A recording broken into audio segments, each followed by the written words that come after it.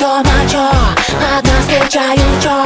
Да чокался, наверно, мой острый язычок Тебе звоню я чё? Тебе пишу я чё? Да,